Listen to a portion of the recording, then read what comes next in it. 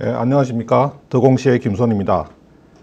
아, 더공시 이번 시간에는 그 바이오 기업 시젠에 대한 이야기를 좀 드릴 텐데요. 아, 자, 제목에도 나와 있듯이 그 시젠이 최근에 어, 또 분기 배당 자 정기 주총에서 정관 어, 변경을 통해서 결정을 했죠. 그 다음에 어제 4월 어, 8일 날 지금 방송 녹화를 4월 9일 하고 있으니까 어제 4월 8일 날 무상 증자 어, 공시를 했습니다. 아, 그리고 또 3월 중순인가요? 그때 그 자사주 자기 주식도 매입 공시를 했죠. 그래서 우리가 주가를 어, 주가를 좀 띄울 수 있는 주가를 부양시킬 수 있는 원투 콤비네이션이 지금 나와 있는 그런 상황입니다. 어, 우리 뭐 복싱 용어죠. 예. 원투 그 다음에 예, 콤비네이션 뭐 어퍼컷이라든지 이게 강력한 훅.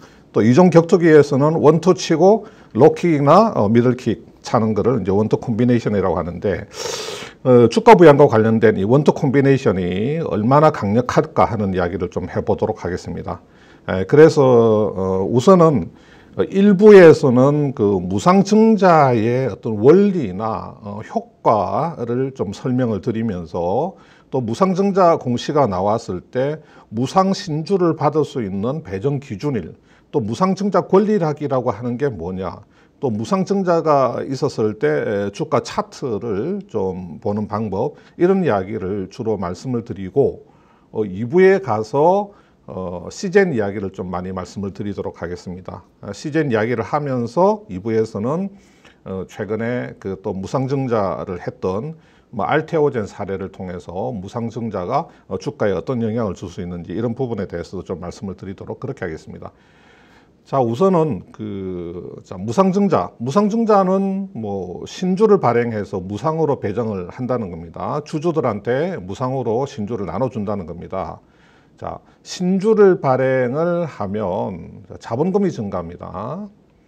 에, 자본금이 얼마나 증가냐면 발행하는 신주 곱하기 액면가만큼의 자본금이 증가하게 됩니다. 예를 들어서 무상 신주를 열주를 발행을 한다. 자, 뭐 무상이 됐건 아니면 유상이 됐건 신주를 열주를 발행을 한다. 그리고 어, 주식의 액면가가 5천 원이다 그러면 10주 곱하기 5천 원에서 자본금이 5만 원만큼 증가하게 된다는 거죠. 자, 우리가 자본 또는 자본 총계라고 하는 것은 자본금에다가 잉여금을 더한 것입니다. 자, 그러면 자본금이 증가하면 자본, 즉 자본 총계도 증가해야 되겠죠. 자, 여기서 요 자본금이라고 하는 이 친구가 증가하게 되니까 어, 자본 총계도 역시 증가를 해야 되는 거죠. 그런데 무상증자는 어떻습니까? 무상증자는 회사로 유입되는 신주 대금이 없습니다. 주주들한테 주식을 무상으로 나눠주는 것이기 때문에 이 증자로 인하여 회사로 유입되는 현금은 없기 때문에 자본의 변화가 없는 겁니다. 이상하죠? 자, 분명히 자본이라고 하는 것은 자본금에다가 잉여금을 더한 것이다. 자, 무상이건 유상이건 신주를 발행하면 자본금이라고 하는 것이 증가한다. 그러니까 당연히 자본 총계도 증가를 해야 되는 거죠. 오른쪽에서 자본금이 증가하니까 왼쪽에 있는 자본 총계, 즉 자본도 증가를 해야 되는데 신주 대금이 들어온 게 없기 때문에 이 자본이라고 하는 것의 숫자는 변함없이 그대로 있어야 된다는 거죠. 그러면 결론적으로 뭡니까? 여기 오른쪽에 있는 잉여금이라고 하는 게 줄어야 된단 말이에요. 예. 자본금은 늘어나고 잉여금은 줄어줘야지 이 자본 총계라는 숫자가 그대로 있게 된단 말이죠. 자, 그래서 답이 나왔습니다. 무상 증자를 하면 잉여금을 자본금에다가 전입을 시키고 신주를 발행한다는 거죠. 그래서 우리가 앞에서 어, 보았던 어, 무상신주 열주를 발행을 하는 경우에는 자, 잉여금에 있는 5만 원을 자본금으로 싹 넣어주고 어, 이걸 재원으로 해서 신주를 5만 원어치를 발행한다 이렇게 생각을 하시면 됩니다. 자 예를 한번 들어볼게요. 어, 지금 현재 어떤 회사의 자본 총계가 20만 원이다. 자본금은 10만 원이고 잉여금도 10만 원이다. 그러면 자본은 20만 원이 되는 거죠. 자, 이 회사가 무상증자 5만 원어치를 한다. 자, 액면가가 5천 원이고 신주를 10주를 발행하기로 했다. 그러면 잉여금 10만 원 중에서 5만 원을 자본금으로 보내줍니다. 네, 그래서 자본금은 15만 원이 되고 잉여금은 5만 원이 되는 거죠. 새로 어, 전입된 그 자본금 5만 원을 어, 어, 신주로 어, 10주를 발행을 해주게 되는 겁니다. 예. 그러니까 어, 자본금은 5만 음, 원만큼 늘어나고 어, 잉여금은 5만 원만큼 줄어가지고 전체 자본, 즉 자본 총계는 20만 원으로 그대로 변함이 없다는 거죠. 자, 그래서 우리가 왜 이 말씀을 드리려고 하냐면요. 무상증자를 하면 잉여금이 감소한다는 겁니다. 무상증자를 하면 회사의 잉여금을 재원으로 해서 무상으로 주주들에게 주식을 나눠주기 때문에 잉여금은 감소한다. 다시 말해서 이건 무슨 이야기냐면 잉여금이 충분한 회사라야 무상증자를 할 수 있다 이 이야기입니다. 회사에 잉여금이 상당히 있어야지 무상증자를 할 수 있는 겁니다. 무상증자를 할 수 있는 재원, 신주 무상으로 주주들한테 주식을 발행할 수 있는 재원이 바로 잉여금이기 때문인데 자, 우리가 잉여금은 크게 두 가지 종류가 있습니다. 이익잉여금하고 자본잉여금이죠. 이익잉여금은 회사가 영업활동을 통해서 벌어들인 이익을 누적시킨 그 수치입니다. 자본잉여금이라고 하는 것은 간단한 예를 한번 들면 유상증자를 했을 때 발, 어, 발생될 수 있습니다. 우리가 액면가보다 높은 금액의 유상증자를 하면 액면가보다 어, 액면가를 초과하는 그 금액이 자본잉여금이 될 수가 있습니다. 그래서 우리가 무상증자를 할 때는 이익잉여금이 아니라 자본잉여금을 활용을 합니다. 이익잉여금은 우리가 흔히 아는 배당의 재원으로 활용이 되는 것이고 이 자본잉여금이라고 하는 것을 무상증자를 할 때 신주 발행의 재원으로 어, 활용을 하는 겁니다. 자 그러면 무상증자는 왜 하는지 한번 알아보겠습니다. 자, 무상증자를 하는 목적은 일반적으로 어, 주가를 관리할 필요가 있을 때 또는 주가를 조금 띄울 필요가 있을 때 부양할 필요가 있을 때 뭐 하는 경우가 많습니다. 그런데 우리가 무상증자라고 하는 것은 일반적으로는 주가에 호재로 작용을 합니다. 무상증자 공시가 나오면 어, 주가가 이렇게 상승 흐름을 탈 수가 있다는 거죠. 어, 그런데 이론적으로 이 무상증자라고 하는 것은 기업 가치나 주주 가치와는 전혀 상관이 없는 이벤트입니다. 아까 제가 말씀드렸습니다. 무상증자를 해도 자본 총계는 변하지 않는다. 자, 자본 총계라고 하는 것은 우리 주주의 몫을 나타내는 거거든요.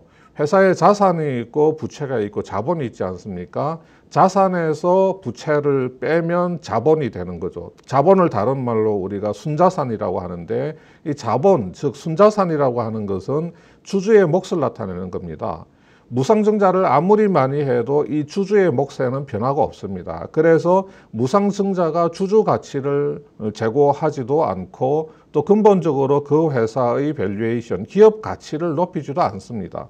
어, 그런데 주가는 왜 어, 일반적으로 주가의 호재로 작용할까요? 거기에도 조금 이유가 있죠. 우선은 1. 주가가 좀 싸 보입니다. 왜 주가가 싸 보이느냐? 무상증자를 하면 A사의 주가가 6만 원입니다. 자, 구주 한 주당 무상 신주를 한 주를 배정하기로 했습니다.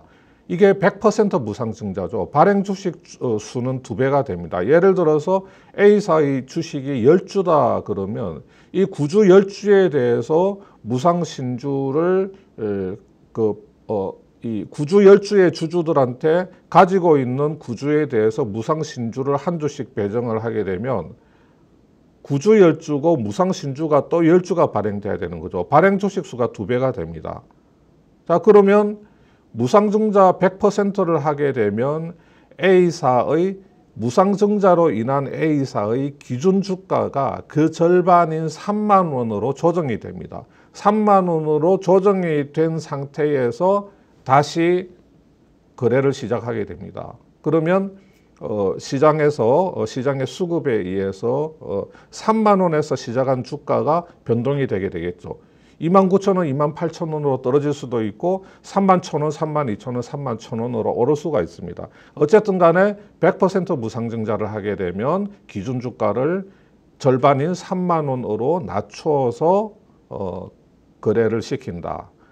그 이후에 주가는 뭐 여러 가지 주가 변동 요인에 의해서 변동되게 됩니다. 어, 그러니까 A사의 주가가 6만 원이었는데 무상증자로 인해서 기존 주가가 3만 원으로 조정돼서 거래되면 어, 투자자들 입장에서는 상당히 반값, 굉장히 싸 보이는 효과가 있다는 거죠. 어, 물론 어, 어떤 착시적인 효과지만 주가가 상당히 싸 보이는 효과가 있다. 그래서 어, 주가가 오름세를 타는 그런 효과가 발생될 수 있다는 거고요. 두 번째는 자, 유통 주식 수가 커지지 않습니까? 무상증자를 하게 되면 뭐 50% 증자일 수도 있고 30% 증자할 수도 있고 100% 아니면 심지어 200%, 300%, 400%의 무상 증자까지도 있습니다. 그만큼 유통 주식 수가 늘어나게 되면 거래가 활발해지면서 어, 그, 거래량이 증가하면서 어, 주가에 상당히 호재로 작용을 하는 경우도 있습니다. 그 다음에 세 번째는 뭐냐면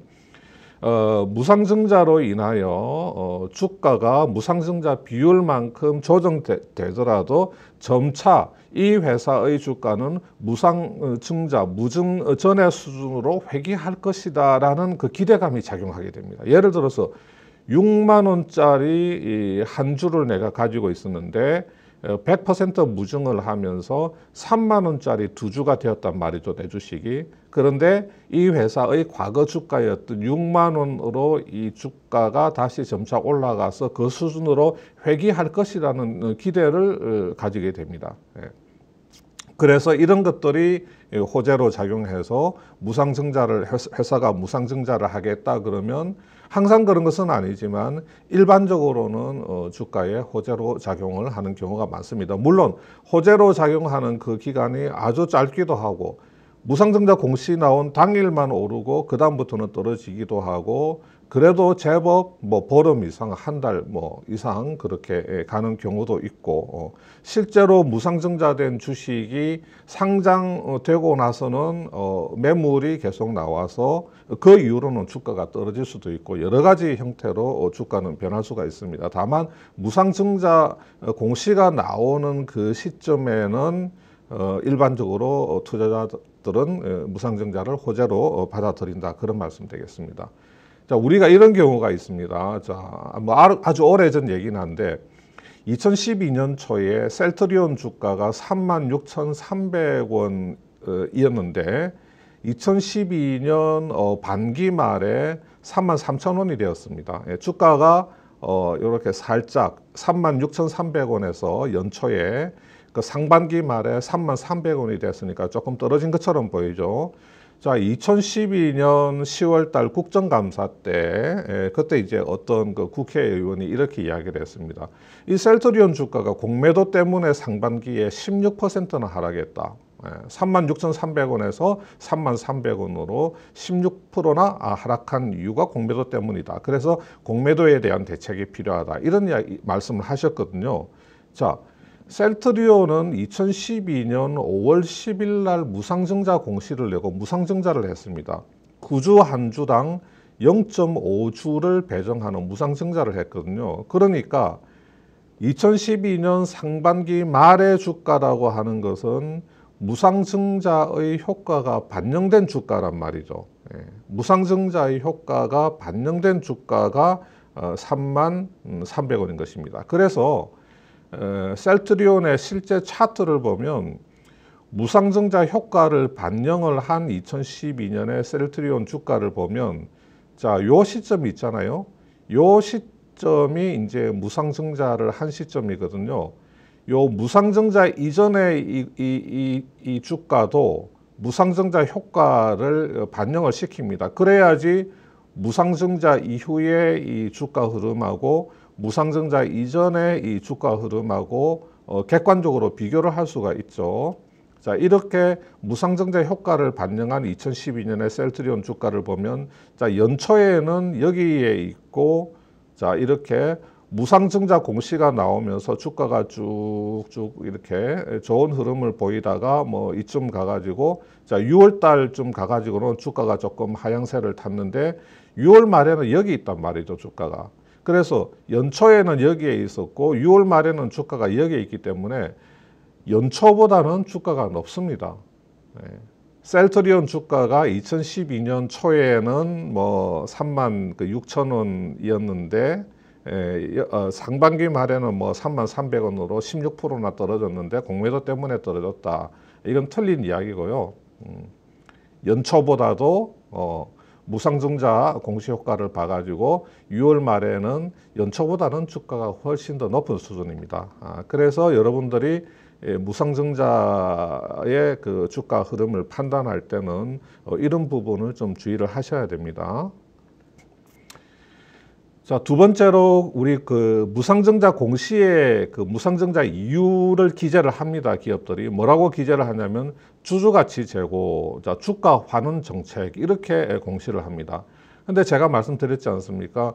무상증자는 어, 이론적으로는 그 기업의 가치, 기업의 valuation을 높이는 것도 아니고 또 그 주주 가치를 높이는 그 효과가 있는 것도 아니다. 이론적으로 무상증자 그 자체만 놓고 보면 그런데 왜 기업들은 주주 가치 제고 주주 환원 정책이라고 하냐면 아까 제가 말씀드렸습니다. 무상증자를 해서 어, 무상 신주를 발행해서 무상으로 주주들에게 배정하려고 하면 회사의 잉여금을 줄여야 됩니다. 무상으로 배정하는 그것만큼 그래서 잉여금을 재원으로 해서 신주를 무상 배정한다 이렇게 이야기를 한다고 했지요. 그러니까 이 회사가 가지고 있는 잉여금을 주주들한테 돌려주는 그런 요소가 있는 겁니다. 돌려주는 그런 성격이 있기 때문에 회사의 잉여금을 우리 주주들한테 다시 돌려준다는 의미가 있기 때문에 주주 고 하는 정책. 자, 여기 주가가 아니고 주주입니다.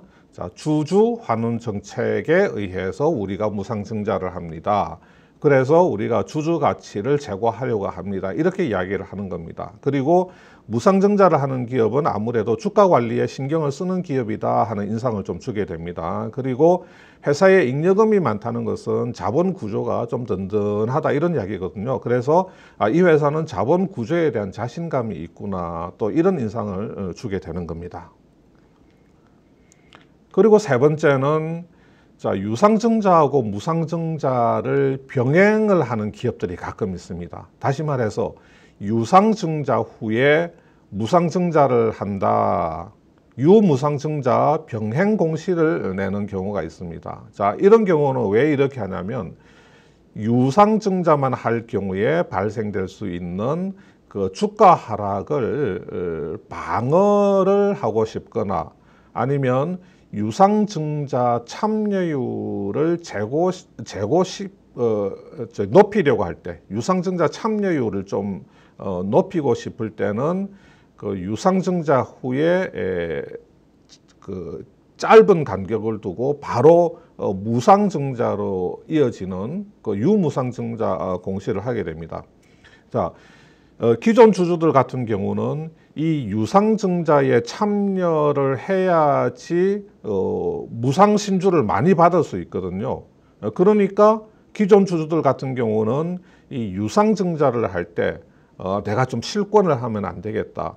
어, 유상 주식을 또 추가로 많이 받아야지 어, 이후에 실시하는 무상 신주를 많이 받을 수 있으니까 그래서 어, 유상 증자 실권을 좀 방지하는 그 효과를 볼 수가 있고요 기업 어, 기업들 같은 경우는 아니면 만약에 어, 기존 주주들 중에서 어, 유상증자 그 참여를 포기한 기존 주주들이 이렇게 시장에 그 신주 인수권을 매각을 할 때 일반 투자자들이 그 신주 인수권을 좀 사고 싶어 하는 어, 그런 그 유인 효과가 있는 거죠. 왜냐하면 아 내가 저 신주 인수권을 사서 이 회사의 유증에 참여를 해서 이 회사의 주주가 된다면 이 다음에 실시하는 무상 신주를 받을 수 있는 자격이 생기거든요. 그래서 어, 일반 투자자들이 지금 현재 주주가 아닌 일반 투자자들이 어, 기존 주주들이 유증 참여를 포기하고 신주 인수권을 시장 매각할 때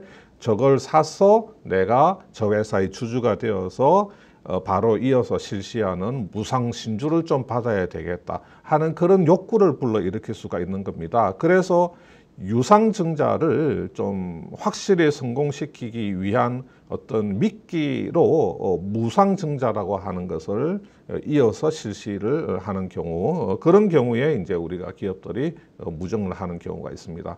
자 그래서 왜 기업들은 무증을 하느냐 무증의 효과는 뭐냐 뭐 이런 것들에 대해서 간단하게 설명을 드렸고요. 자 만약에 어떤 A사가 20%의 유상증자와 바로 이어서 50%의 무상증자를 병행한다고 할 때, 어, 우리 그 주주 달봉이가 지금 100주를 가지고 있습니다. 자, 유상증자에 참여하면 어떻게 되느냐. 자, 달봉이가 100주가 있습니다. 자, 유상증자 하지요. 20% 유상증자 하지요. 그러면 달봉이 주식은 120주가 됩니다. 여기서 다시 50% 무상증자를 하면 무상신주로 120주의 50%인 60주를 또 추가로 받습니다. 그래서 달봉이가 가진 주식은 180주가 되죠. 그런데 만약에 이 달봉이가 유상증자에 참여를 하지 않는 경우는 자 100주가 있습니다. 유상증자에 참여 안 했어요. 그러면 그 주식 그대로 100주입니다.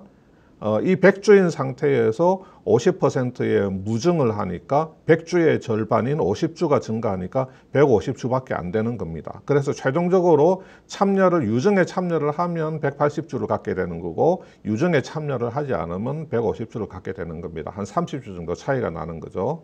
자, 이래서 어, 기존 주주들을 좀 유증에 참여를 시키고 어, 유증에 참여하고자 하는 생각을 좀 강하게 만들 수가 있는 거죠. 자, 우리 그 올해 2월 달에 그 HLB가 무상증자 공시를 한 적이 있죠. 어, 지금 뭐 HLB 같은 경우는 어, 2월 달에 좀 안 좋은 상황에 있었습니다. 그때 그 임상 3상과 관련해서 허위 공시를 했다는 혐의로 그 감독 당국의 그 조사를 어, 받고 그 다음에 제재가 지금 예고돼 있는 상황입니다. 여기에 대해서 HLB 쪽에서는 상당히 좀 억울하다. 어, 당국이 좀 잘못 알고 오해하고 있는 부분이 있다고 강력하게 컴플레인을 제기를 하, 했지만 어, 주가는 상당히 그 충격을 받아서 아주 급속하게 이제 주가가 떨어지고 어, 그래서 우리 그 주주들이 어, 엄청나게 이제 힘들어하는 그런 상황에 있었죠. 어, 결과적으로 그 HLB의 허위 공시 혐의는 어, 지금 당국의 그 제재심으로 넘어가 가지고 어떤 판단을 받게 될 겁니다.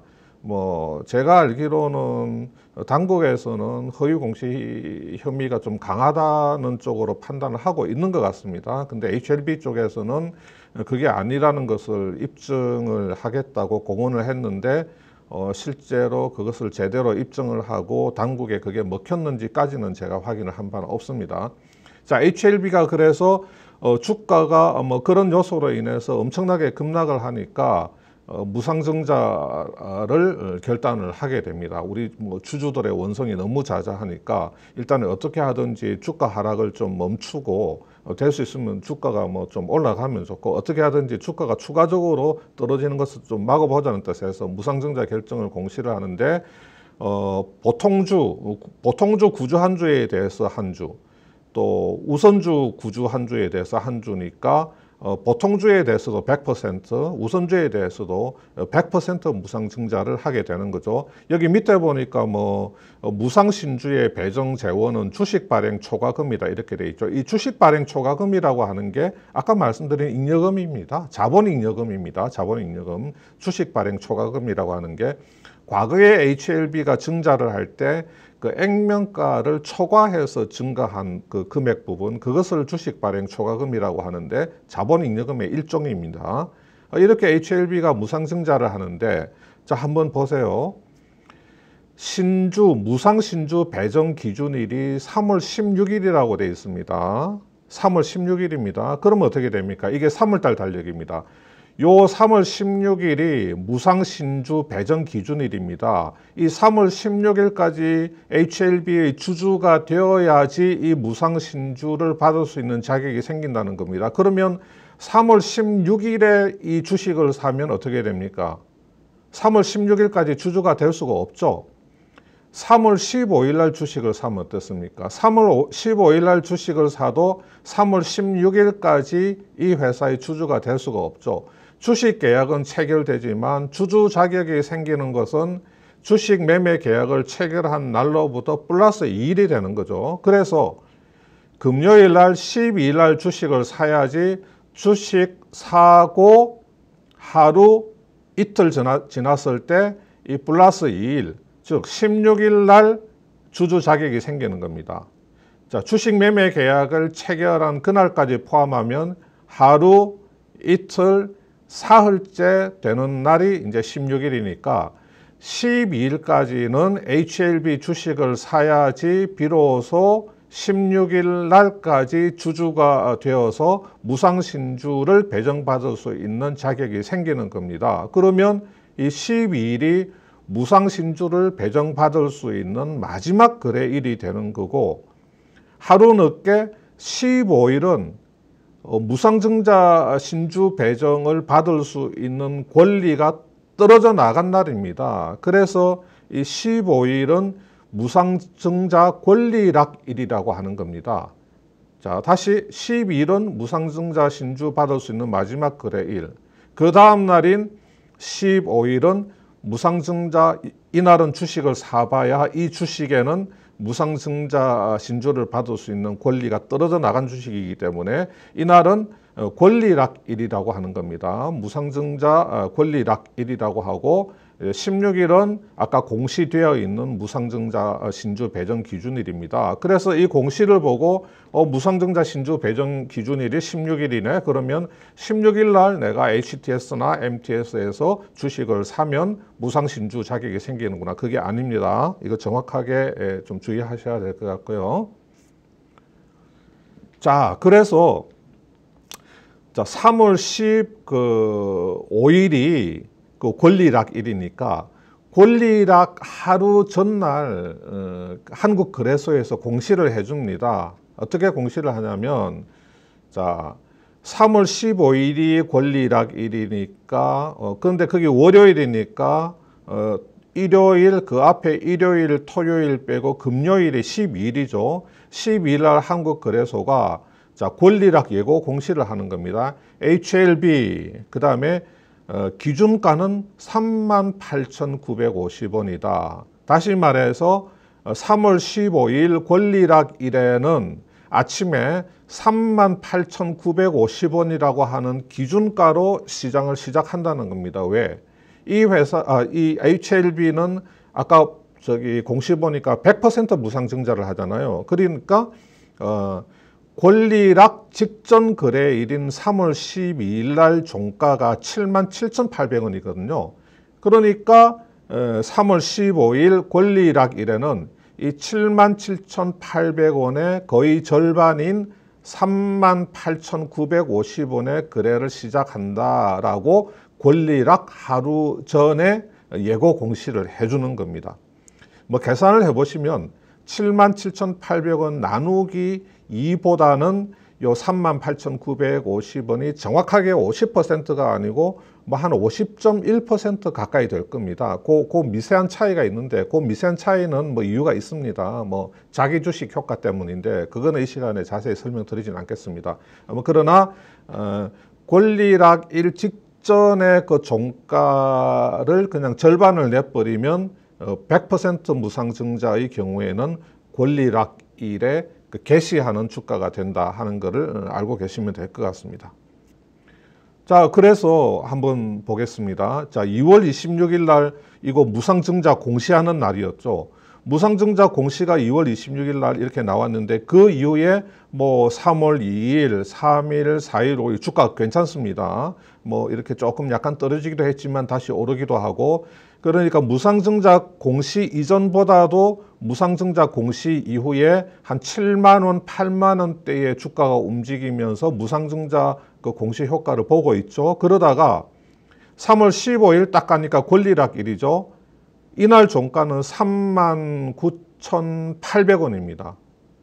얼마에 시작했죠? 앞에 보면 38,950원의 권리락일 날 거래를 시작했는데 이날 종가는 어 3만 9천 3만 9,800원이니까 약간 올랐네요. 그죠? 권리락일 어, 그 시초가보다도 종가는 약간 올랐습니다. 뭐 그 이후로 뭐 주가가 이제 뭐 조금 어, 뭐 그렇게 나쁘지 않는 그런 흐름을 이제 보이고 있는 이런 형태죠. 그러면 이거를 차트를 보면 어떻, 어떻습니까? 6만 원, 7만 원, 8만 원대에 움직이다가 권리락일 날 딱 가가지고 어, 한 3만 원대에서 시초가가 형성되고 종가도 3만 원대고 그 뒤에 이제 약간 4만 원 넘은 가격에서 이렇게 움직이는데 이 가격을 그대로 그 차트를 옮기면 이상하잖아요.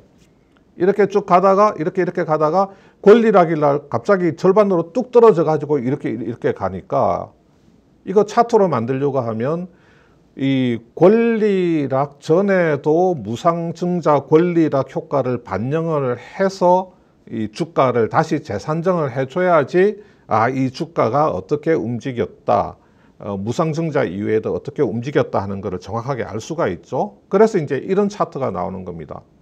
여기가 어, 자 요쯤에서 무상증자 공시가 나왔거든요. 요쯤에서 무상증자 공시가 나오고 공시 이후에 이렇게 이렇게 이렇게 주가가 좋았고 에, 이날이 이제 무상증자 권리락일이었고 권리락 이후에도 뭐 주가가 아까 표에서 보신 것처럼 괜찮게 갔는데 얼마 못 가서 계속 주가가 지금 굉장히 좀 어, 부진한 흐름을 보이고 있습니다. 여기서 4월 1일 날은 이제 무상증자 했던 신주가 상장되어서 거래가 되고 있고요. 그래서 무상증자 공시 때부터 어, 권리락 약간 이후까지는 어 굉장히 주가가 좋다가 권리락 지나면서부터 주가의 흐름이 꺾여 가지고 지금 주가가 많이 다시 지금 떨어져 있는 그런 상황입니다. 그 다음에 요 이제 요 상황, 예, 요 상황이 바로 그 2월 15일이나 16일쯤에 아마 어, 금융당국이 HLB의 임상 3상 허위 공시 그 혐의에 대해서 조사를 하고 제재할 것이라고 하는 그런 뉴스가 나왔던 시점입니다. 예. 여기서 이제 굉장히 주가가 충격을 받고 여기서 이제 헤매다가 여기서 무상증자 공시가 나와서 좀 올라가다가 그 약발이 오래 가지 못하고 여기서 약발이 확 떨어지면서 다시 주가가 떨어진 상황이고요. 그 임상 삼상그 금융당국 조사 어 그 기사가 나오기 전까지는 주가가 대충 어 이 정도 선에서 뭐 한 5만 원 어, 대충 4만 원, 5만 원대에서 그래도 이렇게 움직이고 있었습니다. 예. 이렇게 4, 5만 원대에서 이렇게 어, 주가가 움직이고 있다가 뉴스 충격으로 어, 이렇게 훅 떨어지면서 맛이 갔다가 지금 무상증자 이후에 이런 주가 흐름을 보이고 있다. 예.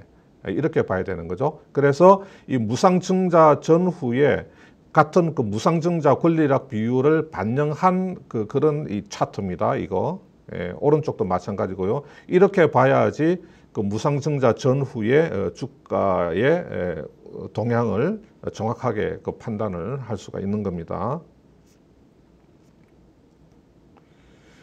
자, 기사 하나만 어, 보겠습니다. 자, 기사 하나만 보고 이번 어, 1부는 어, 정리를 하도록 하겠습니다. 자, 이런 기사가 있더라고요. 어, 무상증자가 뭐길래 그 유유제약의 우선주 뭐 주가가 급등했다고 해서 3월 말에 나온 기사인데요. 자, 무상증자 계획을 밝힌 유유제약에 투자자들이 대거 몰리면서 이제 주가가 오르고 있다고 합니다. 그래서 3월 31일 날 유유제약 주가 는 한 20% 넘게 지금 올랐습니다. 특히 우선주 이제 유유 그 1우와 그 2우B가 모두 상한가 쳤다는 거죠. 자, 이날은 자, 잘 보십시오. 이날은 유유제약 무상증자 배정 기준일이다. 이날 장 마감 기준 주주는 주당 신주 한 주를 배정받을 수 있다. 어? 이것 좀 이상하죠. 그러니까 이 기사를 보면 마치 이날 3월 31일이 에, 그 무상 신주 배정 기준일인데 이날 장 마감 기준 주주는 신주 한 주를 받을 수 있다. 무상 신주 한 주. 마치 이날 주식을 무상 어, 증자 배정 기준일이기 때문에 이날 장에서 주식을 사면 무상 신주를 받을 수 있는 자격이 생긴다는 그런 느낌이 들죠. 이 기사를 보면. 예. 그건 아닙니다. 우리가 앞에서 배웠죠.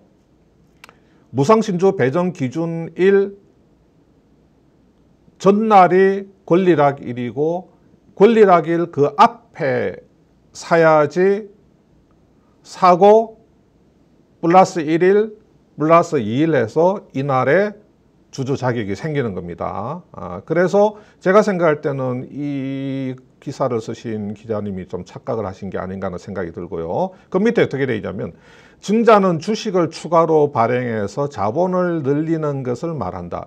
유상증자만 그렇죠. 무상증자는 자본이 늘어나지 않습니다. 주식을 아무리 발행을 해도 자, 유상증자는 새로 발행한 주식을 돈을 받고 파는 것이다. 오케이. 무상증자는 회사가 벌어들인 이익을 주식을 대가 없이 발행하면서 이좀 문장도 아니죠. 문장 자체가 안 되죠. 무상증자는 회사가 벌어들인 주식을 아, 벌어들인 이익을 주식을 대가 없이 무슨 말이야? 발행하면서 자본을 확충하는 방법이다. 회사가 벌어들인 이익을 이용해서 주식을 대가 없이 발행하지 않습니다. 그것은 주주들에게 배당으로 나가야 됩니다. 회사의 자본잉여금, 다시 말해서 뭐 기본적으로 뭐 유상증자를 액면가 이상으로 유상증자를 했을 때 발생시키는 그 주식 발행 초과금 같은 거 이런 것을 이용을 해서 자본잉여금을 통, 이용을 활용 재원으로 활용해서 무상증자를 한다고 말씀드렸습니다. 이 기사에처럼 이익을 활용하지 않습니다. 그 다음에 무상증자가 자본을 확충하는 방법이다. 무상증자 백날 해봐야 자본 확충되지 않습니다. 자본 총계 절대로 변하지 않습니다. 왜?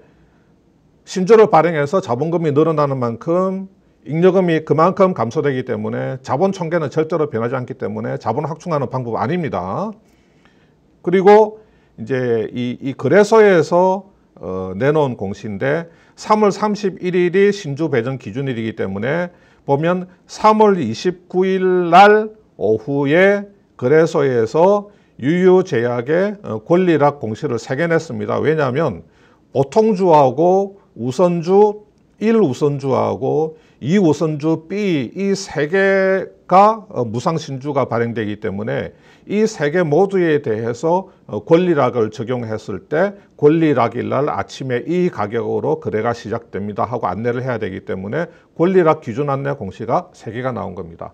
자, 1부는 여기까지 하고 2부에 들어가서 그 시젠의 무상증자 공시하고 앞에 제목에서 말씀드렸던 시젠의 어, 원투, 어, 그 다음에 콤비네이션, 이 뭐가 있고 이게 주, 어, 주가에 얼마나 좀 강력하게 작용할 수가 있는지 또뭐 알테오젠이나 이런 다른 회사의 무상증자 이후에 뭐 주가 흐름 같은 걸 보면서 한번 같이 고민해 보는 시간을 갖도록 하겠습니다. 예, 다음 2부에서 뵙도록 하겠습니다. 예, 감사합니다. 본 영상이 도움이 됐다면 구독! 안 되었어도 구독!